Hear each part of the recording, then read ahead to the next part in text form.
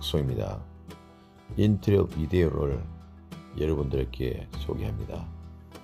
intro라는 것은 동영상의 첫 도입부, 즉 시작 부분에 5초에서 10초 사이에 그 동영상의 제목을 쓰는 것입니다. 현재 화면에서 그 검은 공간 있죠.